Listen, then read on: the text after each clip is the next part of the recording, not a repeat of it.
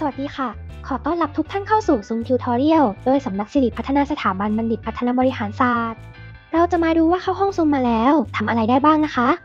เข้ามาแล้วระบบจะให้เลือกว่าจะใช้เสียงจากแหล่งไหนก่อนนะคะ หากใช้งานผ่านคอมพิวเตอร์หรือแท็บเล็ตให้เลือก Join with Computer Audio หากใช้งานผ่านโทรศัพท์ให้เลือกจอยออดิโอ จากนั้นเลือก Wi-Fi แต่หากไม่ต้องการใช้เสียงผ่านอุปกรณ์นี้เลยไม่ว่าจะไมโครโฟน หรือลำโพง ให้ปิดหน้าต่างนี้ไปค่ะ พอเข้ามาในห้องแล้ว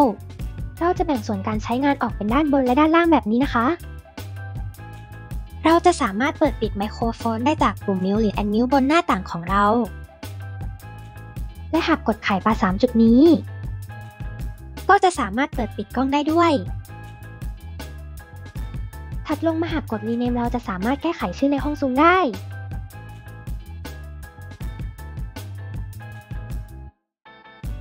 พิมพ์ชื่อเสร็จแล้ว ให้กดปุ่ม Save ก็จะเห็นว่าเปลี่ยนชื่อเรียบร้อยแล้วค่ะ นอกจากนี้ยังมีการ Add Pin หรือการปักหมุดหน้าต่างที่เราอยากจะเห็นอยู่ตลอดเวลา การ Hide Non Video Participant หรือการซ่อนคนที่ไม่ได้เปิดกล้อง การ Hide Self View หรือการซ่อนหน้าต่างของตัวเราเอง หากกด Hide Self View ไป แล้วต้องการจะเปิดกลับมาใหม่ สามารถกดเลือก Show Self View ได้ นอกจากนี้ยังสามารถเลือก Gallery View เพื่อดูหลายๆ หน้าต่างพร้อมกัน หรือเลือก Speaker View เพื่อดูเฉพาะผู้พูดก็ได้ค่ะ ส่วนด้านล่างซ้ายมือสุดจะมีปุ่มสำหรับเปิดปิดไมโครโฟนและกล้องอยู่ ด้านข้างไมโครโฟนจะมีปุ่มสามเหลี่ยมชี้ขึ้น กดแล้วจะมีเมนูขึ้นมาให้เลือกไมโครโฟนและลำโพง กรณีที่มีการต่ออุปกรณ์นำเสียงเข้าไว้หลายชิ้นค่ะ หากต้องการทดสอบไมโครโฟนและลำโพง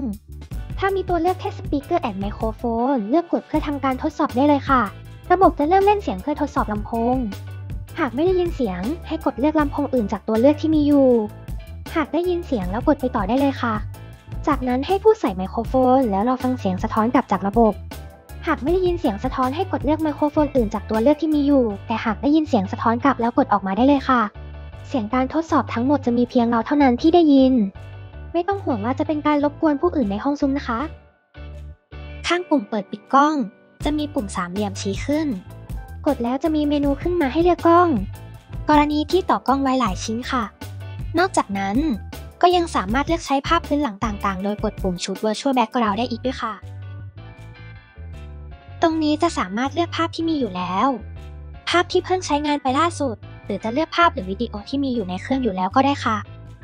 ที่มุมขวาบนของจอแสดงผล เราจะสามารถหมุนกล้องได้ ส่วนด้านล่างจะมีปุ่มสำหรับกลับด้านกล้องเหมือนส่องกระจกได้ค่ะ นอกจากนั้นก็ยังมีในส่วนของฟิลเตอร์ ที่ช่วยเสริมแต่งใบหน้าของเราบนซูมได้ด้วยค่ะ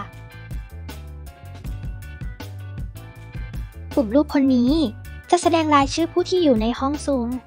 เราจะสามารถเปลี่ยนชื่อของเรา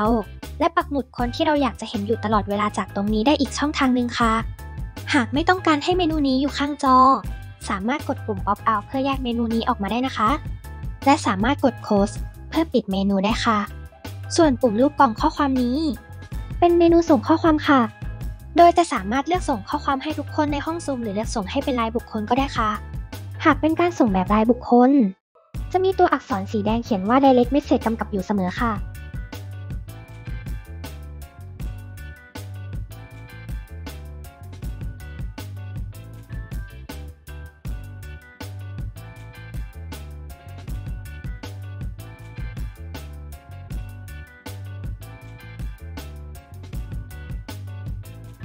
ต่อไปจะเป็นส่วนที่เรียกว่า reaction หรือ emoticon นะคะ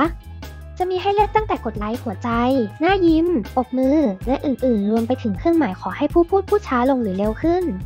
และที่ใช้บ่อยๆ ก็เห็นจะเป็นปุ่มยกมือและเอามือลงนี่แหละค่ะ